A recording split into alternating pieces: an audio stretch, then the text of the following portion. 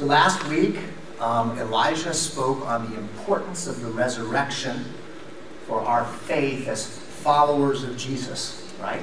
Resurrection, the most important event in the history of the world. Well, today uh, marks the end of our series on the book of Matthew. So this will be the last uh, sermon in that series. We'll be beginning a new series next week. But after Jesus was raised from the dead, Matthew tells us that he appeared to two disciples, both of whom names were Mary. And Jesus told these ladies to go tell the other disciples that uh, they were to go into Galilee to a particular mountain where Jesus would meet them. And so, chapter 28, verses 16 to 20, tell us that then the 11 disciples went to Galilee, to the mountain where Jesus had told them to go. When they saw him, they worshiped him, but some doubted. Then Jesus came to them and said, All authority in heaven and on earth has been given to me. Therefore, go and make disciples of all nations, baptizing them in the name of the Father, and of the Son, and of the Holy Spirit, and teaching them to obey everything I have commanded you. And surely I am with you always to the very end of the age. Now, this call to reach the world with the good news, with the message of Jesus, uh, is often referred to as the Great Commission. And it's been the inspiration for countless books and songs. One such song is by this gentleman here, Keith Green. Mm-hmm. Some of you may have heard of him. He actually was one of the, the first folks involved in the Vineyard movement, but he was also one of the first contemporary Christian music artists. And he wrote a song entitled Jesus Commands Us to Go. The, the song goes like this Jesus commands us to go, it should be the exception if we stay. It's no wonder we're moving so slow. His church refuses to obey, feeling so called to stay. Mm-hmm. A lot of us, when we hear the, the lyrics to that song, start feeling a little bad, right? I mean, as though, like, if we don't go, if, if, if, if I'm not a missionary, then I'm not really obeying Jesus or I'm not really, if I were really serious about my faith, I would go. Keith Green says that it should be the exception if we stay. Well, should it? Yes. Well, I'm not so sure. Let's take a look at verses 19 to 20. These are the key verses. Now, I don't know if they still do this in elementary school, but when I was growing up, the teacher taught us how to diagram sentences. Right? And that's where you'd identify the noun, the verb, the subject, and the relationships between the different parts of a particular sentence. Well, sometimes when you diagram a scripture passage and pair this with a knowledge of Greek, it can help you gain a deeper appreciation of that passage. So this is the, the, the passage as it appears in most of our Bibles, right? Therefore, go and make disciples of all nations, baptizing them in the name of the Father and of the Son and of the Holy Spirit, and teaching them to obey everything I have commanded you. Well, this is the same passage, partially diagrammed to show the relationship between the verbs, which I've highlighted. Therefore, make disciples of all nations going, baptizing them in the name of the Father, the Son, and the Holy Spirit, teaching them to obey everything that I have commanded. These lower words are participles. They're ing verbs. And if, again, if you remember what you learned in elementary school, participles cannot be the primary verb in a sentence. They are subordinate to the primary verb. And what's the primary verb? Make disciples. There's actually only one imperative, grammatically speaking, in the Great Commission make disciples. Now, yes, the participles, the subordinate participles, probably gain a sense of a, of a command, right, from being subordinate to the imperative, make disciples, but let's put the right emphasis on the correct syllable. right? The focus is on making disciples, not going. So what exactly is a disciple, right? Well, I think First John is helpful in giving us a very simple answer. John writes, Whoever claims to live in Jesus, and that is living in Jesus for John means to be a follower of Jesus. Okay?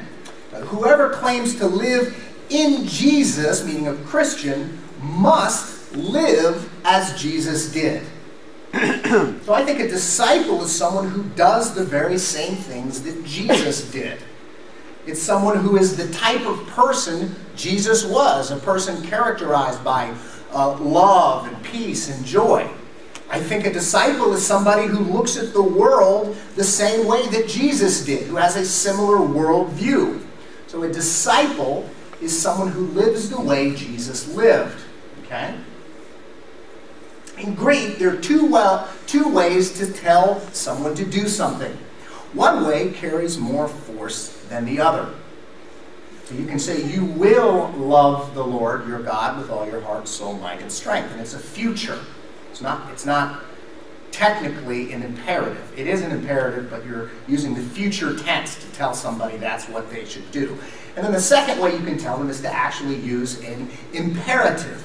Okay? And that's the more forceful way in the Greek language to tell someone to do something.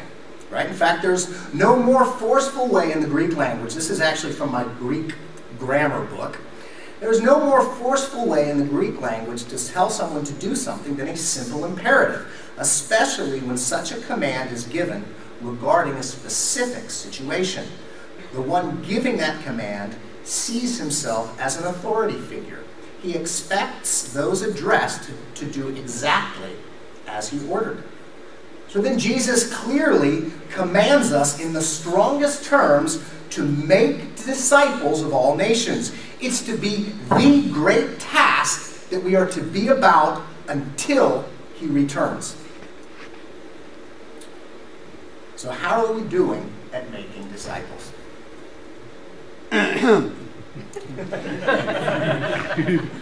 Not so well. According to the Pew Research Center, this was a study that came out a couple of years ago, one in three 18 to 29 year olds have put religion aside if they ever picked it up in the first place. One in three. A sociologist named Christian Smith studied young Christians recently and found that only 40% of young Christians say personal moral beliefs are, say that their personal moral beliefs are grounded in the Bible or, or some other religious sensibility. An astonishing, astonishing 61% of young Christians have no moral problem at all with materialism and consumerism. A headline on the most recent study by the Pew Center says it all. This came out last week. In the U.S., the decline of Christianity continues at a rapid pace. So we're not doing a great job at the most important task Jesus left for us to do. So what's gone wrong? I mean, how can this be? I mean, we've done everything we can to make the gospel accessible to non Christians and the church understandable and relevant to the broader culture. We've removed the steeples from our churches. You can actually go back to the other picture. Remove the steeples from our churches to make them look like shopping malls so that people feel comfortable. We've written worship songs that sound like pop music or soft rock because, again, that's what most people are used to.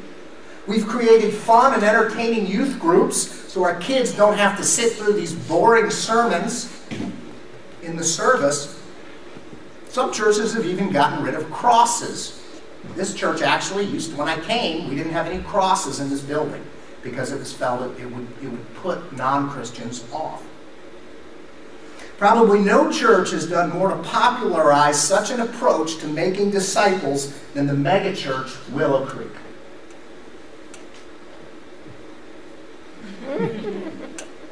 Yes.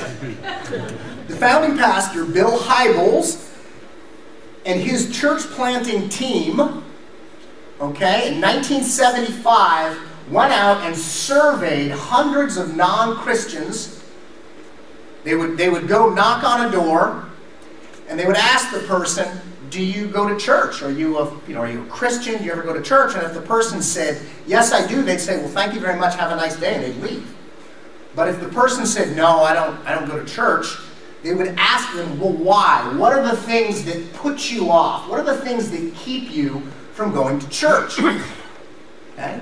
And then they took all of those answers, they tabulated them, and they created a church service, a church that would appeal to non Christians, non churchgoers.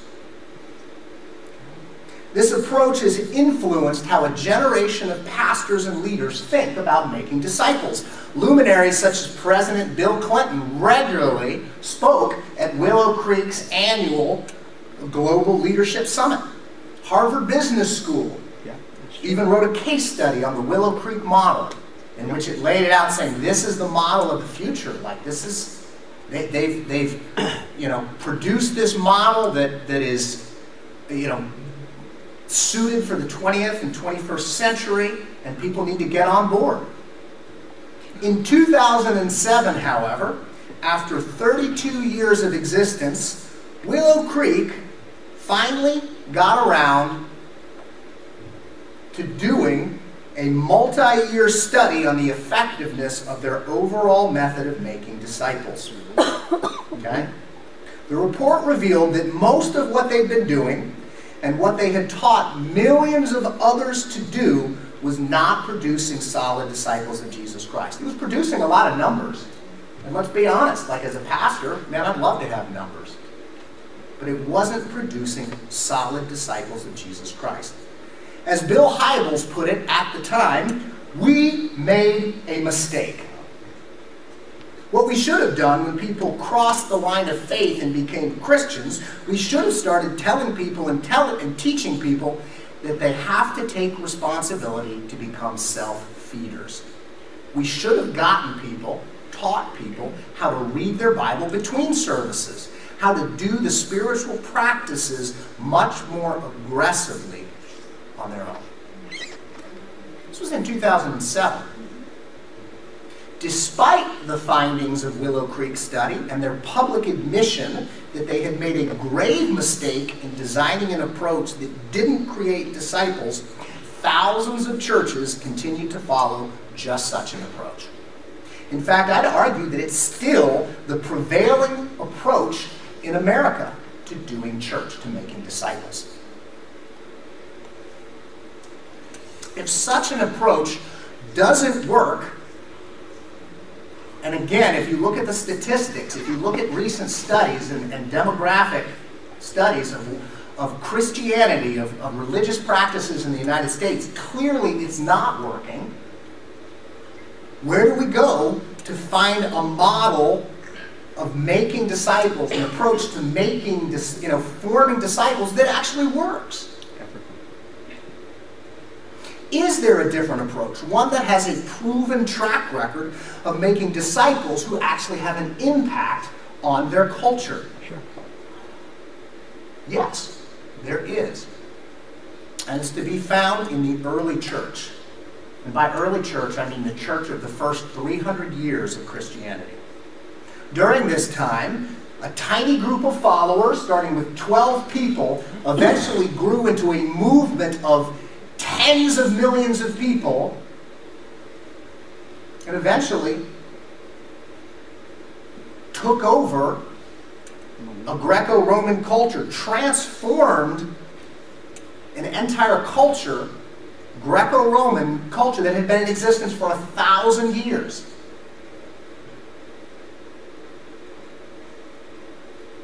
Now, our picture of the church and given the question for us then is this how did they do it? How how was the early church so unbelievably effective at transforming a culture, of convincing millions and millions of people to follow Jesus Christ? How were they so effective at creating people who, rather than being influenced by the prevailing culture, transformed it? Because understand, we're at least in a culture where 40% of the population, I think 40, 50%, still claim to believe in God, right? And we struggle, and we are rapidly declining. And I would argue the church has lost tremendous, really lost any cultural influence it has, it, it had in the past. But the early Christians, 12 people, they started in a culture that had a thousand years of no Christian influence at all. And in fact, they, far from, from retreating in the face of that culture, eventually convinced so many people in that culture to give their lives to Jesus that the entire culture changed. How did they do it? Well, our picture of the church and how it made disciples is influenced primarily through the book of Acts. Right? And if you remember, in the second chapter of Acts, the followers of Jesus are gathered in an upper room. The Holy Spirit falls upon them, and uh, there's a mighty rushing wind, right? And, and the Spirit falls upon them, and uh, flame appears above their head, right? And they begin speaking in other tongues. And, and Luke, the writer of Acts, the doctor, tells us that a large group, a, a large gathering of people, large, large number of bystanders who heard the sound of the Holy Spirit, this rushing wind, coming upon the early Christians and, and saw the Christians presumably maybe pouring out in the streets and, and praying in tongues, a large crowd of onlookers started talking to Peter. And we're wondering what was, you know, what's going on? What's all the fuss? They were Jews. It was a, it was a high religious festival, an important religious festival in Jerusalem. And so there were Jews from all over the world who gathered in Jerusalem. And, and if you remember Acts, Peter preaches to the crowd and Luke tells us that, and he's, he's incredibly success, effective.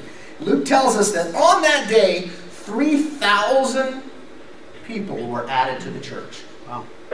And so they believe, boom, and immediately, come on in. They're part of the church. And if you continue to read in Acts, right, much of Acts tells the missionary journeys, talks about the missionary journeys of the Apostle Paul where he travels from city to city throughout the Mediterranean world, preaching the gospel to sometimes large gatherings of people and planting churches and then moving on to the next city. Okay, so we get the impression we get from Acts is of Christians preaching publicly the gospel to hundreds, if not thousands of people. Okay? And that, that when, when somebody converts, they get baptized immediately and they immediately become part of the church. Mm-hmm. But as Yale historian Ramsay MacMullen yep. points out, however, that after the first century, the traveling Christian missionary fades almost entirely from the scene. And public preaching of the gospel declined as well because of persecution. Increasingly, those people who converted to Christianity were required to go through rigorous and lengthy instruction before they were even allowed to be baptized and admitted to the church. As historian Alan Kreider puts it, unlike many churches today, the early church did not try to grow by making people feel welcome and included. Let me repeat that. Unlike many churches today, the early church didn't try to grow by making people feel welcome and included. Civic paganism did that. In contrast, the churches were hard to enter. They didn't grow because of their cultural accessibility. They grew because they required commitment to an unpopular God who equipped people to live in a way that was richly unconventional. Sunday worship gatherings were, in fact, closed to non Christians. And as I mentioned, those wanting to be baptized and join the church were first required to undergo two, sometimes three years of instruction before they were allowed to do so. So, why the change in how converts were admitted to the church and baptized, right? Between Acts, the picture we get in Acts, and what very quickly developed in the church.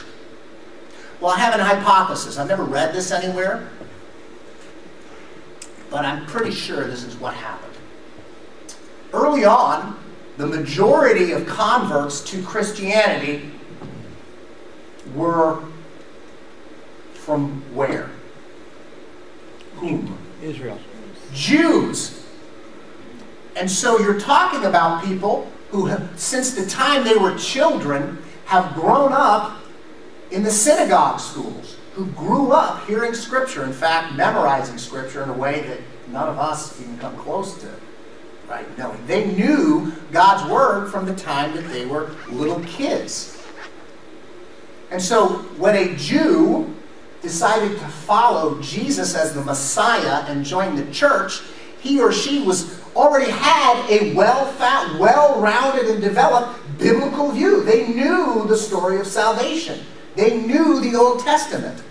And they practiced, had grown up in a community that was practicing a, a biblical ethics, right? That wasn't following the ethics of the broader Greco-Roman culture.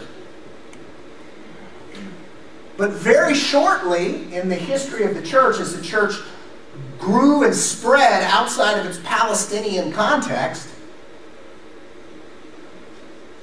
fewer and fewer Jews, right, were converting, and more and more what? Pagans, Gentiles, more and more people who had grown up with no biblical, I mean, they never even heard of a Bible. Never, never heard any scripture read in their entire life. Had a worldview that was thoroughly imbued with a paganism was, it, was that was at complete odds with the biblical worldview. And they practiced ethics that were completely at odds.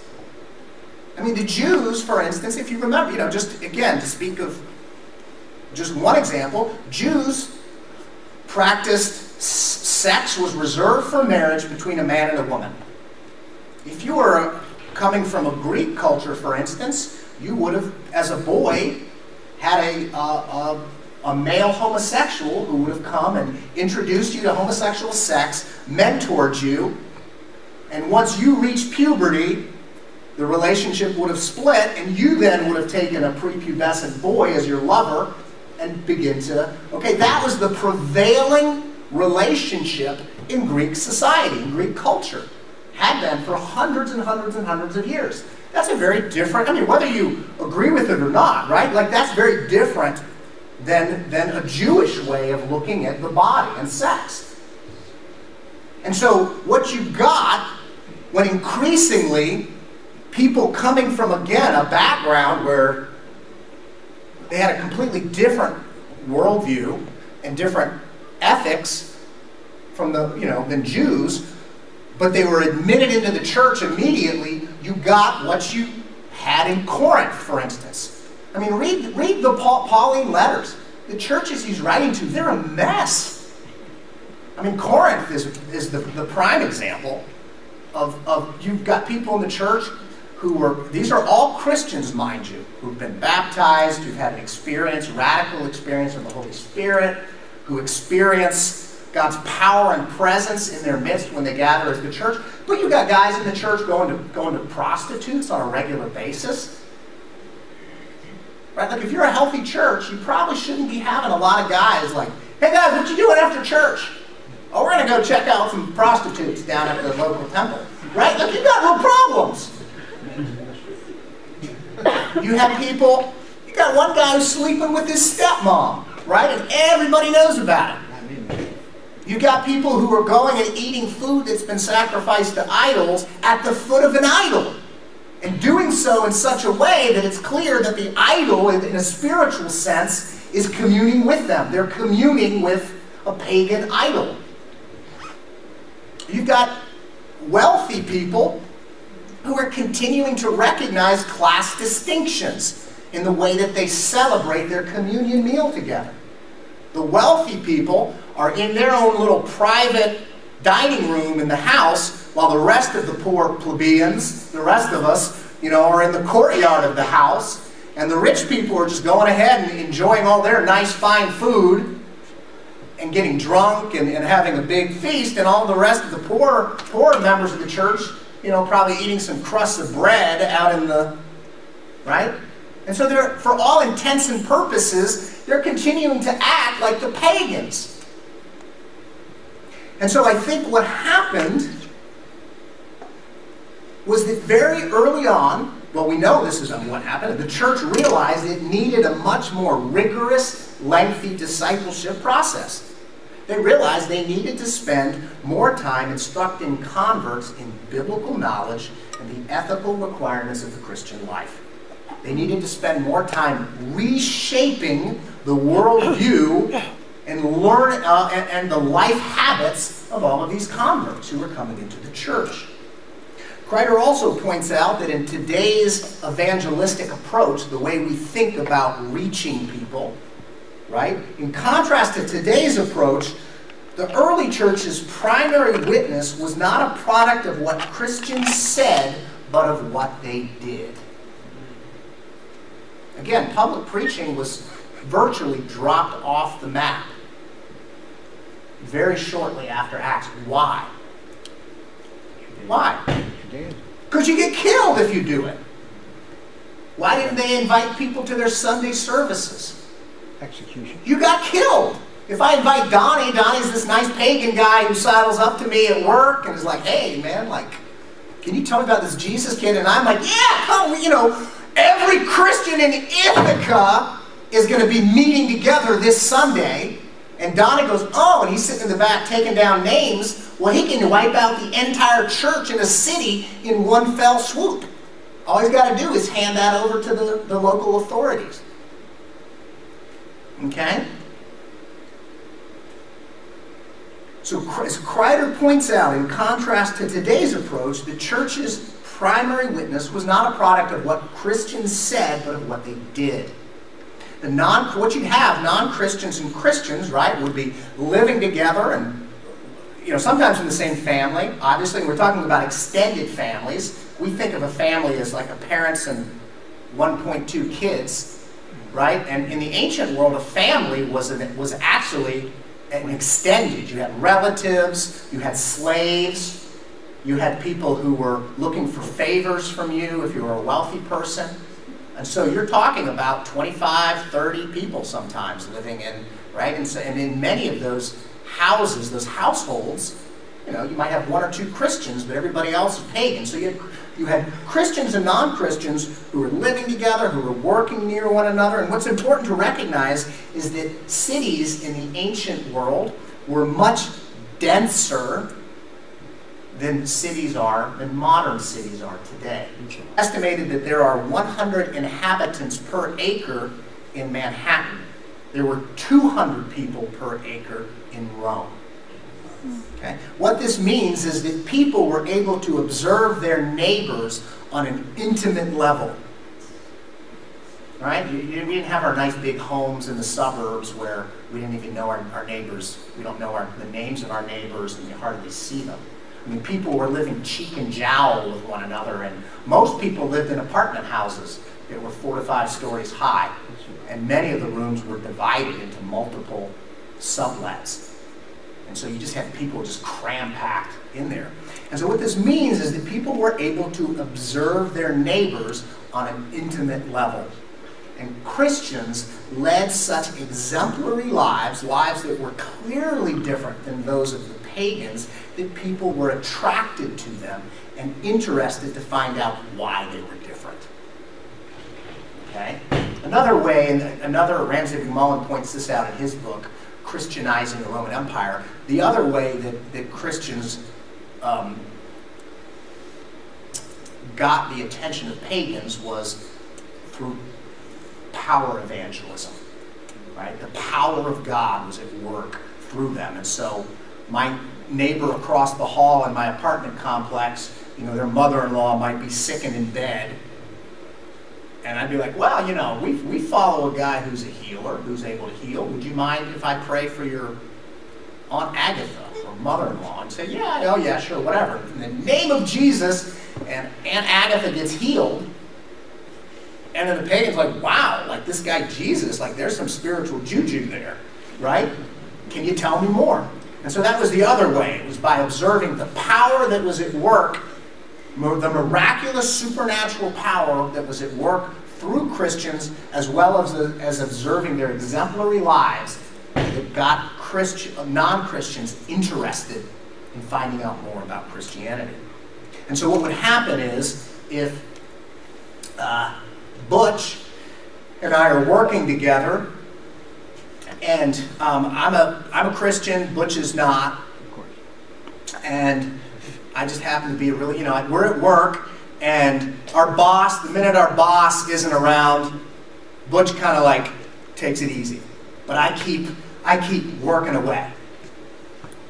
Butch is, at some point, Butch is like, well, why are you, like, their boss is not around. Why are you still working? Like, take it easy. I'm like, well, no, actually, you know, I want to honor my boss, and, and I believe that the Lord I, I worship, I, I feel like I'm working for Him in whatever I do. Okay, forget Butch. Tim. Tim's the baby. And, uh, right? And so Tim sees that I'm not robbing, right? I'm not, I'm not stealing from the till. And so Tim gets intrigued. I'm not going out and hanging out with the prostitutes after work. He invites me, you know, and I just say, Tim, sorry. I'm keeping myself sexually pure. What? Right? Because again, that's a very different ethic than, than prevailed back then. Um, and so eventually Tim goes, after maybe observing me for a year or so, goes, well, you know, what I'm really, and we started talking about, I said, well, you know, I'm different because I follow this guy named Jesus. And I'm part of a community of people who are all trying to live according to his teachings. And we're trying to live lives that, that, that, that are in accordance with his teachings, not what everybody else is doing. And so finally, Tim says, you know what? I, I think I want to be like you. I think I want what you have. I really want to give my life to Jesus and I want to learn about this guy. What do you think am I going to do? Am I going to say, well, come on in. What we would do if that were today, we would say, if you confess with your lips that Jesus is Lord and believe in your heart that he's raised from the dead, then you'll be saved. And he does that, you're saved, you're in, get you baptized, let's go. You're in. Okay? What they did, however, was I would say, okay, you're interested in learning more about Jesus. In fact, you're really interested in even coming like, like getting part of the community? Well, Tim, why don't you come and you're going to meet Marika. I'm going to take you, not on Sunday, I'm going to take you to talk to Marika, who's a teacher in the church, who has the gift of teaching. She's a pastor and teacher. And I'm going to take Tim to, to introduce you to Marika.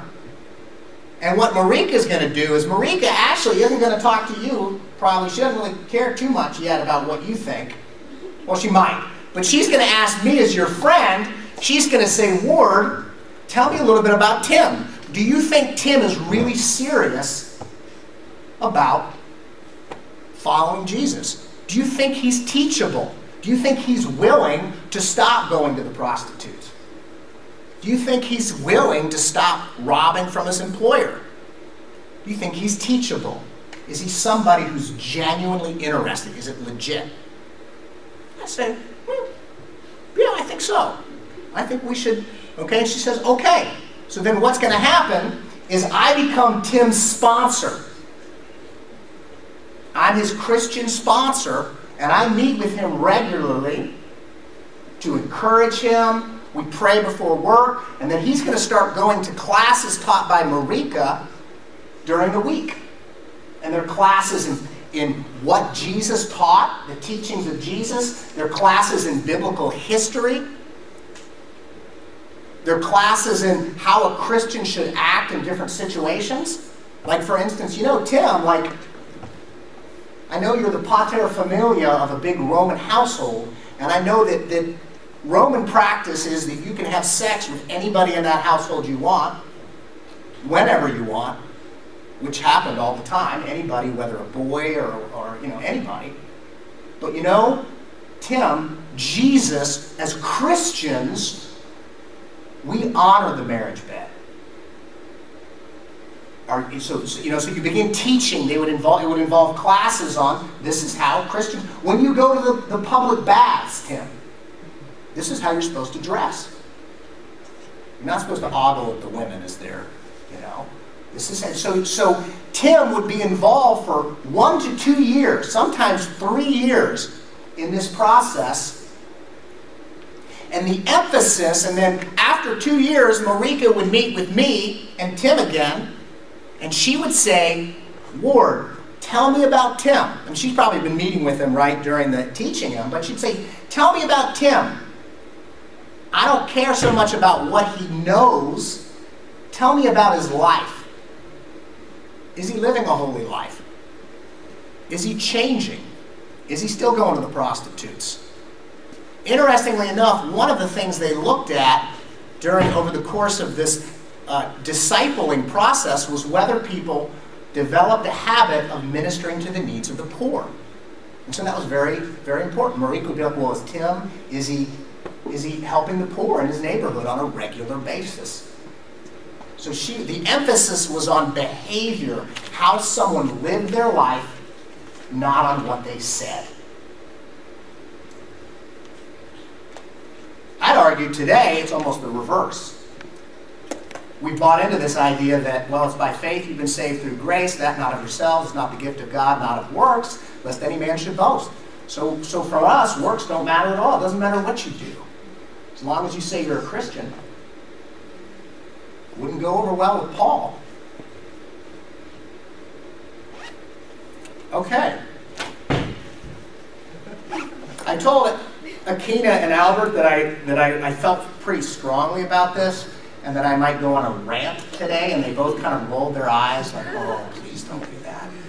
I haven't been ranting today, have I? Been kind of reining it in a bit.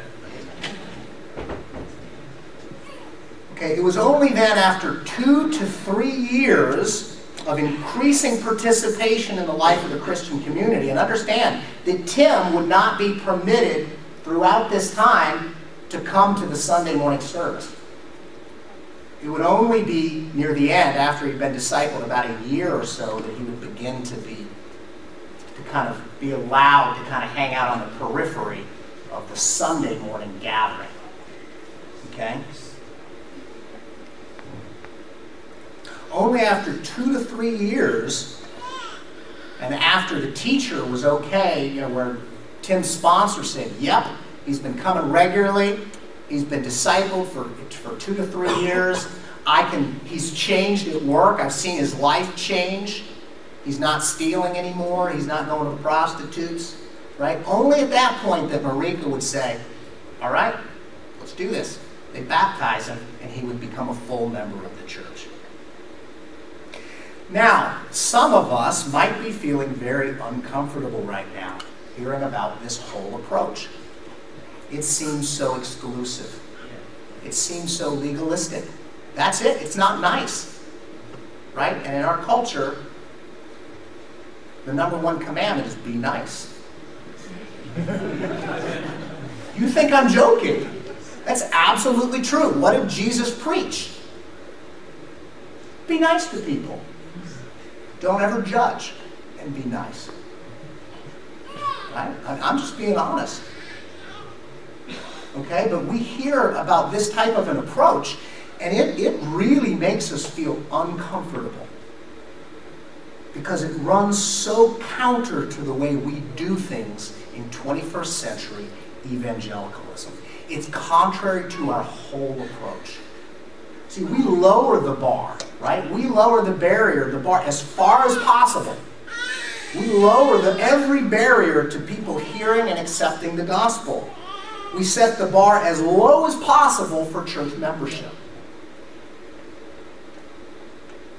I mean, membership in this church is optional. And if you're a member, you've got to sit through a nine week class where you get grounded in, in the bare essentials. And the reason it's nine weeks is because if it were 10 weeks, nobody would take it. Just being real. Few people ever become members. Even fewer people ever darken the door of an adult ed class. And the problem is, is that in the past, when I was growing up, in society, I would say our culture as a whole, our society, basically had a, at least a Judeo Christian basic worldview. I mean, people didn't necessarily believe it, right? I mean, I grew up going to a church where my parents didn't necessarily believe it, but they took us to church every Sunday, right? You could assume if somebody came into the church particularly if they'd grown up in the church or they'd been in the church for a number of years, I could pretty much assume if Mike, right, Mike came to the vineyard, started coming, I could pretty much assume that he had a kind of a biblical worldview, that he'd received some sort of instruction. I mean, I grew up at the Presbyterian Church USA, Main Street, Charlottesville, frozen chosen, deader than dead. Okay? But before I was allowed to join the church, I had to sit in on a year of teaching and instruction at age 11. Yeah. Okay? We have nothing comparable. And I'm just telling you, I see it, folks. I mean, I have people who have grown up in the church who come in who've never heard of the spiritual disciplines a conversation with one guy. He's like, man, this is great. Like all this stuff about spiritual, like fasting and meditating on scripture, and this is great. I've never had this before. Guy grew up in a Christian home. And I just want to say, if it makes us, I think what concerns me the most is that, well, one, and, and again, it's, uh, I see it Okay, that's what you got to understand. Like, I see the results of such poor discipleship. And it's not because we want to be legalistic or we want to, it's because people suffer as a result. They continue to live lives that, for, that are in direct contradiction to the teachings of Jesus. And the leaders of the church, we're the ones who are there to pick up the pieces. So you got college students who are sleeping with a different woman every weekend, but they're leading small groups and they're leaders on campus. And so is it any wonder that non-Christians are not attracted to Christianity because for all intents and purposes, we're living like non-Christians. And I don't, I don't mean to be, I'm not trying to, if I'm passionate about this, this is something, this is the kind of thing that Robin and I, this is the kind of thing that drives me to distraction. Because it's not working. It's not. I mean, we need to wake up, folks. The church is in steep decline. And, and I'm convinced, and I, I don't, I, I don't seldom say this from up front, but I believe that we are going to, we are, we will shortly be reaching a point where we're going to be facing some really hard decisions. If you look at Europe, look at Europe and look at Canada. Okay? They are, both of them are approaching cultures that are post-Christian, which isn't that bad, except that they're very hostile to much of the things that we believe. There was a directive that was recently overturned, but that had been come down during the Obama administration that said that doctors, a Christian doctor who didn't want to do a sex change operation on someone would be forced to do that or lose their medical license. Now, regardless of, of where you come down on that whole transgender issue, the reality is, is that we're close to getting to a point where if you are a Christian and you don't believe in abortion, for instance, National Association of some nurses association two or three years ago brought that to a vote at their national convention. They wanted to force, they wanted to remove any kind of opt-out clause on the basis of conscience for abortions. Again, wherever you, regardless of where you come down on that side, there are Christians who, who believe that abortion is wrong and, and would want to opt out on ethical grounds of being involved in something like that. But we are fast getting to a point where that will no longer be an option. And so I just want to say, open your eyes, wake up. Because we're going to be forced at some point in the next five to ten years, I believe, to make some hard choices. Like Jacob Altman's mom, if you remember, he grew up, he was born in East Germany under the Soviets and the East Germans. His mom had a dream her whole life of becoming a medical doctor. But she refused to take the oath of the Communist Party, which denied the existence of God, and so she lost, she gave out on her dream. And we tell people, come to Jesus and you'll fulfill your dreams.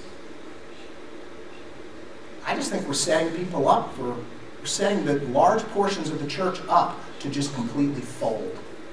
And this, I'm sorry, I'm going on my rant now. Um, and I just don't think we're ready. And, and even if persecution, and here's the problem, we've become so associated, not to get political, but we've become so associated with Trump, the current president, in the minds of large sections of the culture that whenever, you know, the, the, Democratic Party takes over, there's going to be a tremendous backlash.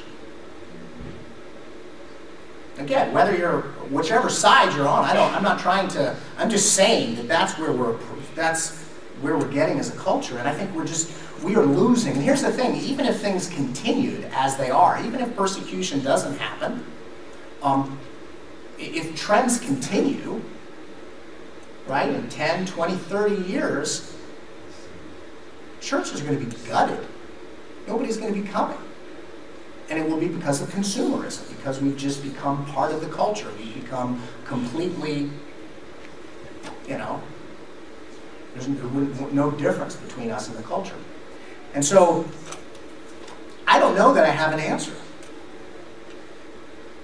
One of the answers, the early church folks, uh, you know, after a couple hundred years of Christianity being the dominant faith and culture, then the church became kind of co-opted by culture and became very enculturated and worldly. And a lot of Christians just said, you know what, like, they're kind of in a similar situation to where we're in now. And they just said, you know what, we're going to go, not going to try to change the church.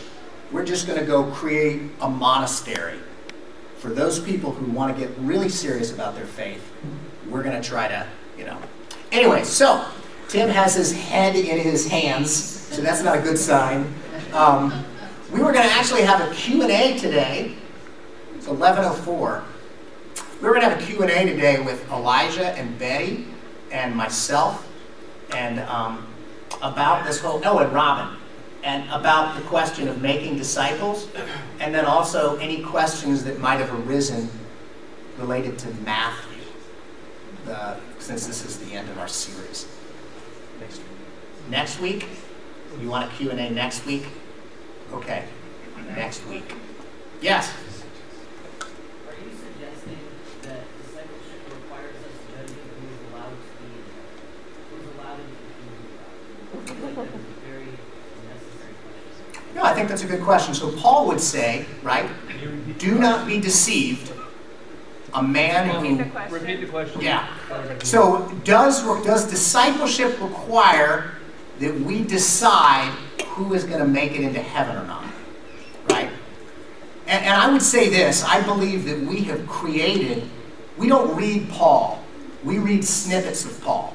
So we take a sentence here and a, and a sentence here, and we've created this theology that is, and we believe it comes from Paul, and it doesn't. Because Paul actually, I would say yes, we do do that. That's exactly what the Apostle Paul said. In 1 Corinthians, he said, judge those who are inside the church. Don't judge those outside the church. You don't expect them to, you know, you shouldn't expect them to live a biblical ethic because they're not Christians. But whoever calls himself a Christian and whose life doesn't bear fruit, the fruit of holiness, you can question whether their salvation is genuine. So good works don't save us in Pauline theology, but good works are the natural fruit of a genuine salvation. And if there are no good works, according to Paul, you can question, at least question, whether there is a genuine salvation. And the early church did this all the time, including Paul. Well, Jesus says, judge. Told his disciples, judge, but just judge rightly. And Paul, again, and so the issue with Jesus when he said, don't judge, right, is he said, remove, the reason that, that we're not to judge is we're not to judge in a hypocritical, self-righteous fashion like the Pharisees. But Jesus said, remove the splinter from your eye, right? Then you'll be able to see so you can remove the log from your brother's eye. So it's not that we don't judge, it's just that we do so in humility and we do so with the recognition that all of us struggle and, and that we need to get our own house in order first before we can, right? And so it's, it's, it's so tough because what's happened is the cults, right? Like we hear about this kind of stuff, and all we can think of are like the Jehovah's Witnesses or some wacka, wackadoodle cult that just, you know, controls people's lives. And because it's just so foreign to us. It really is. But I just, again, I want to say, how's that working out for us? It's not. And, and so there's got to be, and I, again, I don't have, I don't have an answer at this point. Um, but yeah, how do we, how do we better train people? How do we rework their worldview so that they, they think Christianly? Just, I feel like there are a lot of questions and perhaps some unresolved tension in the room. Do, do, do, a lot of people want to move forward to the Q&A? Because I'll be honest, I want to press forward on some of these points. Sure. I do. I want to talk. Do people want to move forward? I don't know. I, correct me if I'm wrong. Like people just wanting into worship, absolutely. Uh, I just feel like there are some things that people are, are bristling, and, and it might actually be better to talk through these issues. So yeah. Just I'm throwing it out there. I mean, where are our congregation? She's right? like nodding her head. Hold her in her seat, and don't let her come out. and listen, folks. I, I, listen, I can. I am really. I mean, I'm struggling with this too because I don't like. I mean, I, there, there's a certain level of angst that I feel. But what I want you to hear is that I, I feel conflicted over this because I see. I see the the the that's the word I'm looking for. I, just see the people who struggle. I see the, the side effects of, of not discipling people more, not having a robust way. I just see, I'm the one who, get Betty and, you know, we're the ones who, who deal with people who are, who are struggling, right? And caught in this cycle of just, and it, it's, it's tragic. I'm so sorry, Tim. I tried.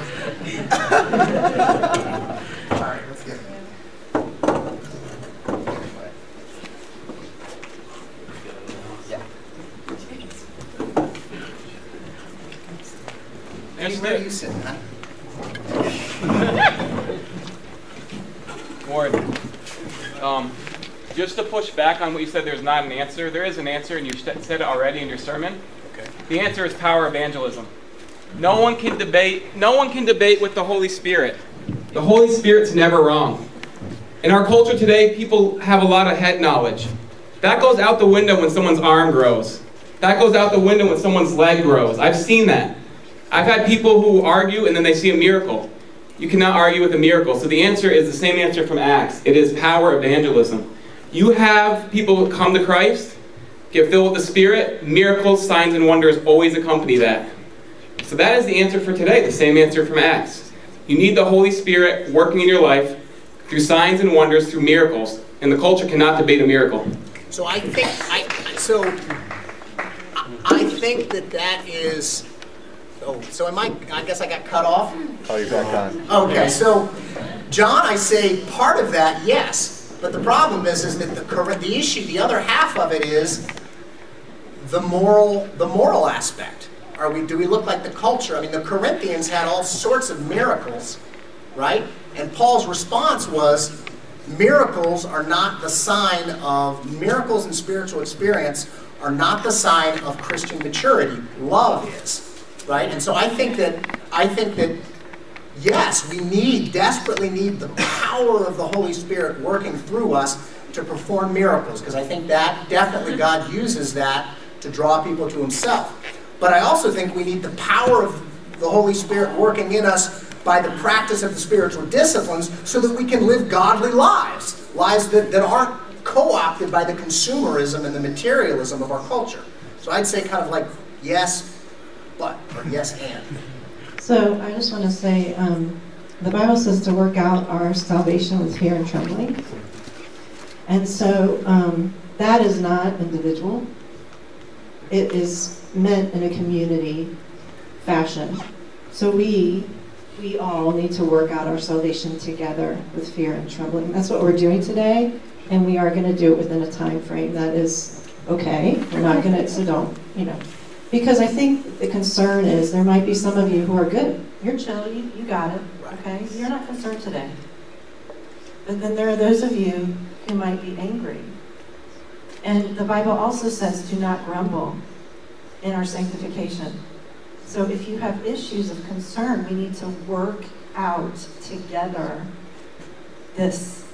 Okay? It may not be today, but if you leave here with questions, theological questions that you're struggling with, do not go home and complain. That's not Christ like. That's not His Spirit in you. That's the flesh. What God is calling you to do is work out unity in the body and to discuss with brothers and sisters. So I just want to put that out there. This is just a short little time, just a, little bit of a carving out of time right now. But we need to work these things out. Okay, we're, we're with one another in Christ. Okay. Thank you, Betty. I think that was really well put, and that's probably why I wanted to move forward this today. Ward, can I? So Ward and I have talked about this a lot, and and I I'm with him in so many ways. We're about to disagree. And, uh, no, my, my sense though is that um, perhaps there's just some confusion. Because I don't think I really disagree with you on this. Um, so I just want to ask a, a, couple of questions. So the first would be um, you talked about you know the example of the church in the second and third century, um, and, and can contrast that with the first century and the way they did evangelism. So my first question would be, right, as a church that bases itself in the scriptures and sees the scriptures even challenging the, the church tradition, should we not still say, even like with the Corinthians, where the churches are a mess, this perhaps allows that God even allows messy church and it's part of the way he works? Amen. Um, shouldn't the, the example of the New Testament challenge the example of the second and third centuries and not vice versa? Uh, and with that is this question of, and we talk about the church being influenced by the culture but how much of the very secretive practices of the second and third century were actually, you know, partly a reflection of the practice also of the fertility cults and the secrecy that surrounded those. And it was kind of an easy model to adopt, especially in light of persecution. I'm not saying it was necessarily wrong for that time, but that may also have been kind of a reflection of culture. So yeah. there's a starting point. Yeah, I mean, I would say that I would say that the model of the early church initially in terms of their cultus, their Sunday gatherings, was not the fertility cults, but was the synagogue. And so I would say that the, if there was secrecy, right, if they, if, were, if they were closed, and I'm not arguing that we should go back to our services being closed. Right, and I'm not saying, that's why I'm saying I wrestle, but understand that, that we are following an approach, and we have followed an approach to taking our culture for Jesus, right? That has radically different presuppositions from that, than the approach that was used by the early church that was successful. Right? I mean, like, they have a pretty good track record. Up to this point, we don't. And so I guess what I'm wrestling with is I think we need to be aware of those presuppositions. I mean, you talked, you've mentioned the fact that we've designed our gospel, right, our gospel presentation, our church, it's been shaped far more by consumerism, right, than, we're, than we even acknowledge. Right? When we go online and we see folks at pretty much any megachurch, and they're up on a huge stage, and they've got lights, and they're looking good, like ding, you know, like all their worship leaders are just gorgeous, and they, they all look the same. They got the scruff and the skinny jeans, and and the lights are out, right? Like the the, the congregation is you can't even see them, right? So you're basically you've created a worship service that for all intents and purposes looks like a concert. And I think that that reinforces very unhealthy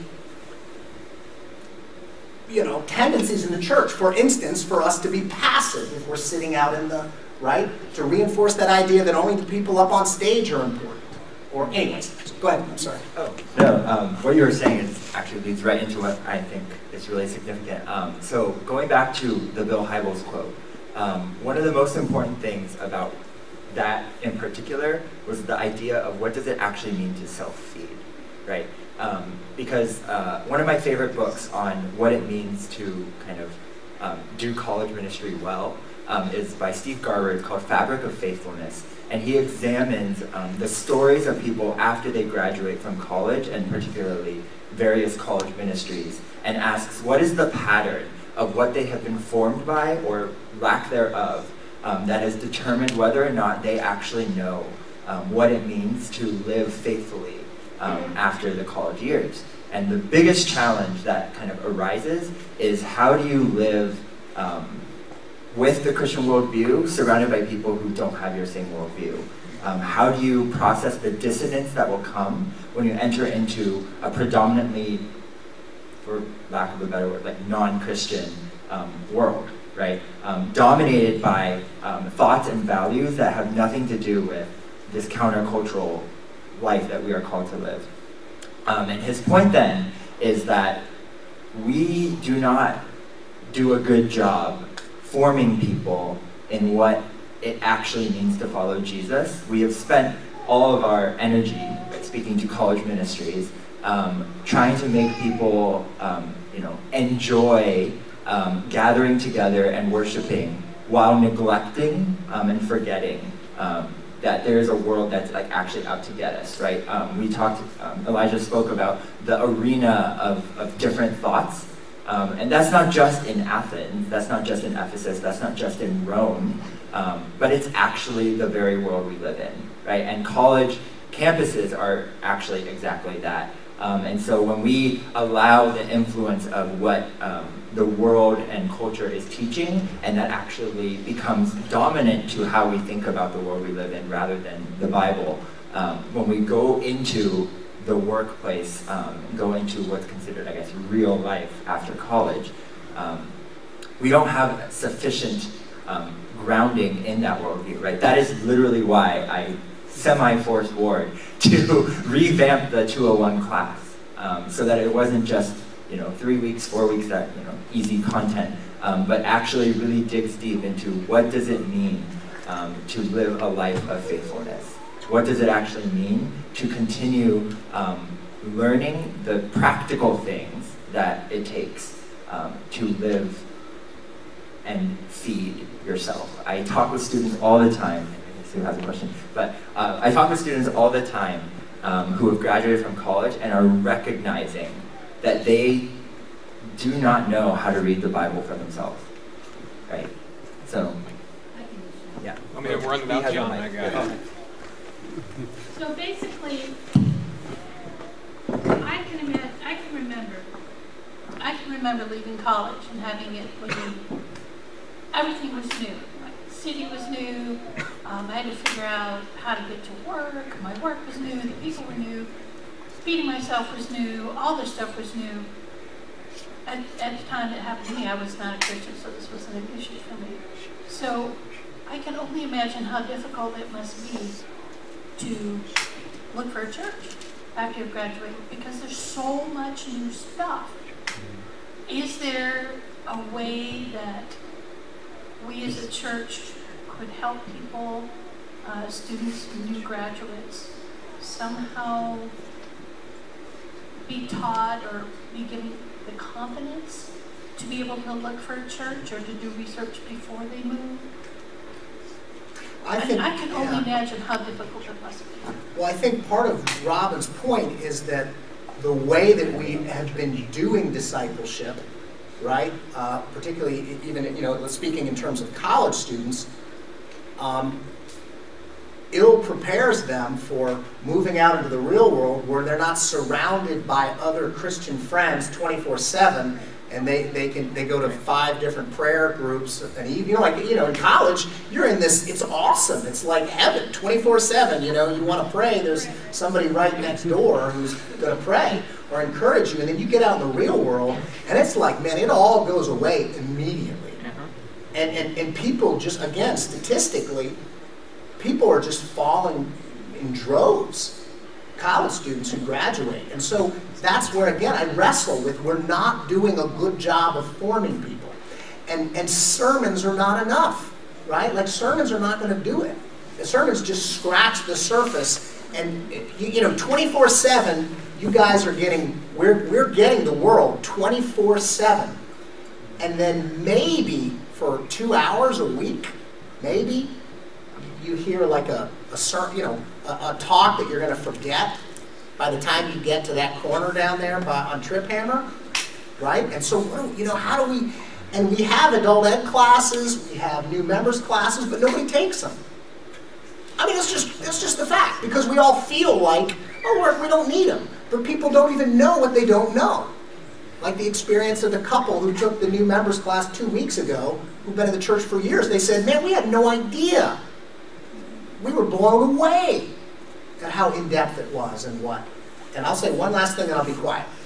I need to apologize. So I, if if I had grown up in a legalistic church, or if my experience over the years had been primarily with legalistic, condemning churches, I would be more sensitive and I wouldn't always be like, cheap grace, you know, down with cheap grace, and we need to get tougher and we need to. It's just that when I look out at the religious culture in America, I feel like the, the primary problem is not legalism and condemning people.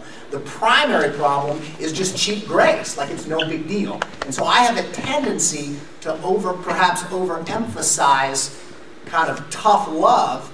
Uh, and I know that some of you who grew up in maybe a legalistic church or are more sensitive to that, you know, that really grates. And so I just want to apologize, and that's why we have a teaching team too, so other more grace-filled people can balance it out. More grace. Robin, do you have any ideas to address that issue? Uh, so at least for uh, Ivy, Joe does a great job. Um, so she actually meets with seniors um, and helps them process what does it mean to make that transition. Um, I think that the foundation is doing Bible study where it's not teaching, um, but you're actually developing your own exegetical intuition. So your own uh, intuition as to being willing to be wrong in the context of people who can help guide you in how you're studying the Bible, so that you're not left to your own devices to keep failing. Um, which then leads to the point that Steve Garber makes is that you need a mentor. You need a mentor um, who basically, in the midst of um, all of the formation of your worldview, is helping you to process and recognize, as Ward said, you don't know what you don't know. But that mentor knows because they've been there, they've done that, they've struggled, right? Um, and so, so that, I think that's the key. I love the idea of a sponsor, right? I mean, I, I mentioned that I've been meeting with a guy since July who has kind of gone through a rough patch in his life. He's been in the church for years, and I think for the first time in his life, he's learning. uh, We've been meeting from six to seven every day. Monday, Tuesday, Wednesday, Thursday, Friday, Saturday, Sunday, right? And and what it's shown me, it's been great for me now having somebody to share my quiet time with.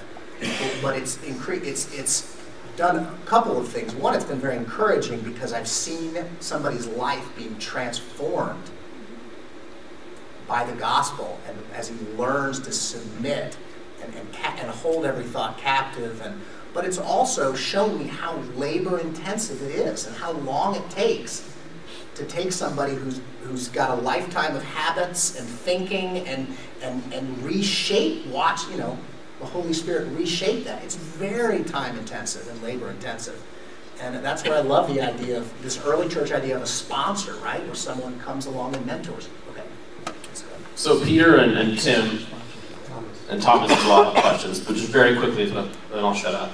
Um, so it sounds to me like you're talking about spiritual formation, which we've talked a lot, a lot about that. Um, my question is though, right? Are you saying a spiritual formation should come before baptism, before the commitment, which, right, or after? And, and here's what I want to preface that with: if it was beforeward, if you had had this conversation with me four years ago, I would probably not be here today, and I'd probably not be teaching. Mm. It was the grace that you showed me in all of my questions and all I'm my actually a very nice guy. Right? It- it was- right? No, it's true, right? I mean, Ward one of the first Christians that legitimately allowed me, since I left Yale, to raise these serious issues, and it wasn't just immediate argument and immediate judgment, and that changed my life. And I, I bristled today because I said, hmm, you know, Ward is on to something, but this isn't really what he says all the time. So I, I want to hear, I want to hear, you know. It's only when I go on some of rants that. in front of everybody. Well, maybe it's okay. So if somebody came to me today, this is what I'm thinking about. Okay, so if somebody came to me today and said, "I want to be baptized," right? Like, it, like- I'm going to pick on Mark Pettit again because he's kind of like my poster child. He's like the, the he's like the golden boy. Mark is awesome. He's like just oh my gosh, give me a little bit of Mark. I mean, if I could just he uh, so so he got baptized and he he is like following. I mean, he got baptized like two three years ago. He has been following hard after Jesus, and he meets with me. He's been meeting with me weekly. He's been meeting with John Bree weekly. He's been I, mean just hitting it in his own life, and so like that's that's what. Oh yeah, okay, um, okay. Um, so, but not everybody does that, right? Like sometimes people, and so I guess today I'm starting to think like if someone approaches me and says I want to be baptized, okay, maybe not saying you got to jump through all these hoops beforehand, but here's what we here's part of baptism, part of of of of making this new commitment and, and doing it in a way that, that where you'll succeed, that'll be successful from a spiritual point of view, is that's going to involve taking the new members class, right? And that's going to involve meeting with somebody once a week in prayer, right? Uh, uh, For the first year, right? Maybe something like that. Where people, if they know that that's kind of what's expected of them, and they're, it's a genuine, they're gen, you know, they're genuinely interested, most people would be willing to do that. I mean, I would have done anything when I came to the Lord, buddy. You had told me Christians stay up till 12 every night praying. I would have done it, right? Uh, I, I hope my question, um, it's good. Um, I hope my question gets kind of right to the heart of the issue. Right before I ask it, I'd like to make one statement. You have said repeatedly that nobody takes the new members class. Nobody reads Paul. Nobody does this. Nobody does that. And you're, I'm, I've done all of those You things. do, yes. And I do try, right? So, and I know I'm not the only person here, and I'm not saying this just to put myself up because I need to take an adult ed class. I know that. I'm thirsty for it because of my past. I've had people in the church tell me that I don't deserve salvation. And I'm hurting from that. Yeah. And that's part of why I get fired up. So I'm hoping this gets right to the issue. Yeah. Um, because I know, I know and trust all of you. And I think you all have a good sense of the Holy Spirit. And I, and I want to say this publicly, where I do, I do love arguing with you. Because you always made me grow, right? So, um, so just to clear that up. Um, so my question is, we know discipleship is vital. Yes. I would not be here today if I had not had a very important mentor. I wouldn't. I would have fallen away because the struggles that came after I left college were hard. But the things that that mentor told me brought me through. He helped me to have the faith that I needed to get through. And I think that we all need that. We need discipleship. But we also need love. Yeah. And I think that that's come out in these questions. Um, I think that was the piece I was concerned about with your sermon. So my question would be, yes, it's super important to disciple new believers, and I do agree that that's missing. I think we, a lot of us do. But it's also important to show grace and love, um, Yeah, absolutely.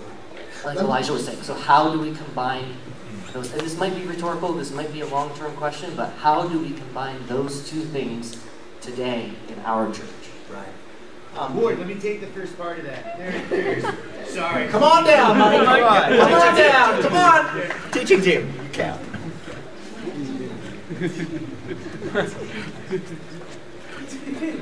This, this is not the answer. This is the first part of that answer. It gets really confusing to talk about these things. One thing that gets really confusing is in the Greek the New Testament is written in, there are two different words for judge that both translate into English as judge.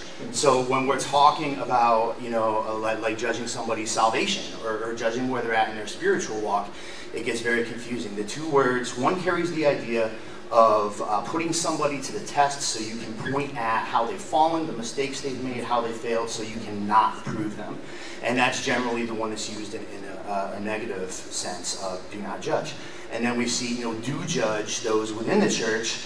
It uh, speaks of a motive of putting somebody to the test to point at their, their growth, their successes, progress that they've made so you can approve them. So just the, those two words both coming into English as judge makes it very, very confusing. But yeah, that's just the first part. Go right ahead. Well, I would just say, and I'm going to I'm going to let Betty close us. I did want to say, um, I don't, you know, at this point, when I think about new new believers, right? I mean, I, I think, and I, I, we're an elder-run church, so I'm going to have to run this by the elders.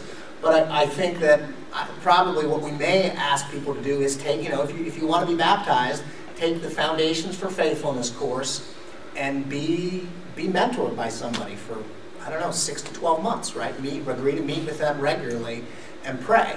And so it might be something along that line for people who who are new believers because I want to see them succeed, right? I don't want people. I hate this is part of what this comes out of is the is the and I have had people in my life who I love who who have walked away from the faith, right? Who have who whose lives have become a shipwreck.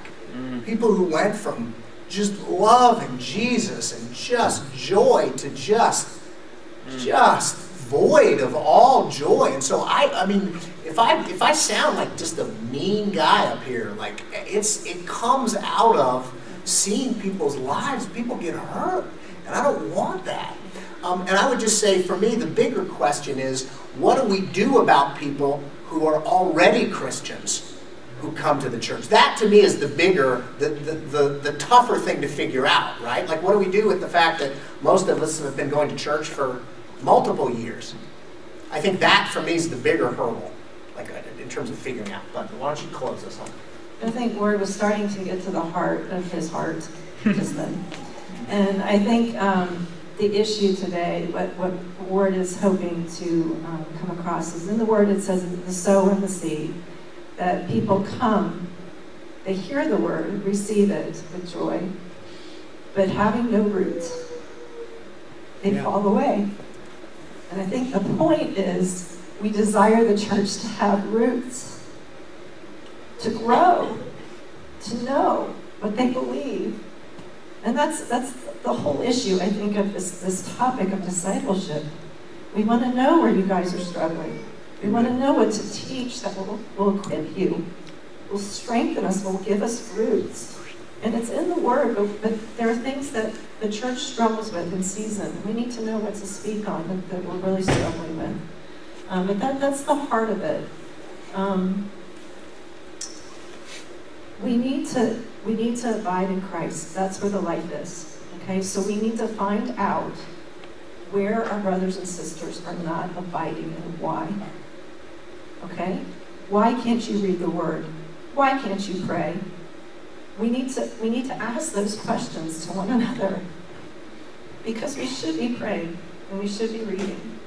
That's where discipleship starts. Find out what what's not going well because you care for them. Amen? Amen. That's, that's the So, so we talked a little bit about redefining judge, uh, but I think we also need to redefine or clarify the definition of love. Because it's not loving to invite someone into the body of Christ and then leave them to flounder. Right? And it is not loving to raise people up um, and then not equip them to go out, right? Like if we're making disciples and teaching, then we actually have to do that. Right? Um, it is not loving for me to say it is okay to keep on sinning, right? It is actually because I know what is coming down the pipe as your mentor for you. If you continue in what you are doing, that you will actually miss out on the fullness of life that I have gotten to taste, and I want you to taste that too because I love you. Right? That is love. Amen. Okay. Um, real quick, and it's worded something that has not been brought up that you preach about all the time. Um, accountability sometimes it's having a workout partner, you know, and having somebody. We're all brothers and sisters in Christ, and we're all a family. And I know when I go back to see my family, if my sister disapproves of something I'm doing, she tells me about it, and then we talk about it, and then I decide whether I think she's right or she's wrong, and then I move on. But it helps me to have that conversation, and I think that's conversations like this is what we need to have. And when you see your brother or sister in Christ not maybe holding up to a standard, then maybe you should mention it. It doesn't mean that you're judging whether or not they go to heaven because we don't get to do that. Okay, That's not us. Um, and as far as spiritual growth, we're always spiritually growing. I mean, everybody in here is still on their path to spiritually grow. You should be spiritually growing until, and I just realized my collar's popped up. Um, that's right, that would drive me nuts. But um, we're spiritually growing until until the day we die. We have a chance to spiritually grow, and hopefully, with all of us together, we're all helping each other grow, continue to grow. And I think that's kind of the point: is that we don't give up, and we don't just assume that because you've been dumped in the water that you're that's it, you're good, fly, be free. You know, we are we're here for each other. We love each other, and that means we're a part of each other's lives, and we continue to be a part of each other's lives. So I think we're going to have one last Thomas wanted to say something, and then we got to close. Okay, Pastor? Inconvenience yourself or others if you want to be successful. Okay? Um, yeah, I'm, I'm nervous about public speaking, but I, I have a history to offer. I'm 70 years old and I'm a graduate, dropped out of college uh, around 1970. Anyway, it happened that the church that I ended up in was a mega church uh, that preached radical grace. And the pastor was terribly criticized by others. But he also taught uh, in thorough teaching every night of the week except his Sabbath, which was Saturday night, for two hours. He taught deep through the whole Old Testament, whole New Testament, in the original languages, explaining verse by verse. This man was terribly wrong as a radical grace teacher. Uh, I don't think it's exclusive, uh, mega church or whatever, or radical grace or discipleship. He was a great guy. The foundation he gave me over two years of attending his teaching for uh, was foundation for my life. So it's not exclusive. And my also the history in Asia. So when the Lord talks about we are failing, I guess he's talking about here in America. In Asia, the mega churches in Singapore, I went, there are multiple, and I went to multiple ones. Great deep teaching, wonderful radical grace teacher. Uh, founding churches all over Asia, uh, recruiting missionaries from their churches to go all over the world, including USA. So it's not mutually exclusive. Thank you. Sure. Nice. Well, why don't I go ahead and close us in prayer, and then um, today is a communion Sunday. I took it, I think. Yeah, we did. I don't, I mean, what does somebody think who comes to this church for the first time and it's kind of like this on a Sunday? Well, are you going to come steal the mic from me? But you can give it to me. Oh, Yes, attendance. I just wanted to say, this morning um, in my devotional, I was reading from James, uh, and this is the, the verse that I read. Today or tomorrow, so come now, um, you who say, today or tomorrow, we will go into such and such a town and spend a year there and trade and make profit. You do not even know what tomorrow will bring. Now, I didn't understand what that would mean for today, but now. Uh, and in a sense, we come to church on a Sunday, we go to our kinship with an idea of what we would do. I came this morning with an idea that we'd be doing worship. But often, Ward and I have spoken and said, we need to be led by God. We need to allow Him to take us and to do to give us a direction and that we follow that direction. Amen. This morning as a worship team, I was talking to the guys about being ready for the for the direction of the wind of the Spirit to change the direction and we take that direction. Okay? And that's exactly what's happened in this service. Um, would I like, have liked to have done worship uh, prepared? Yes. But if God is leading in a different direction, let's just get out of the way and let God do what He has to do. Come on! so, um, I just wanted to say, you know, we need to see this, this often, where God will say, we need, you need to go in this direction, and we need to be okay with going in that direction. Thank you. Can we close with, with Thanks, Tim. Yeah, sure. And I just, right? The reality is, like, there were tensions for a little bit after the sermon. There were things that needed to be teased out. But here's the reality: we all partake of the blood and body of Jesus. So what a beautiful way, like, to end the service, just to reaffirm that and to thank to thank God for the unity that comes in Christ. Amen.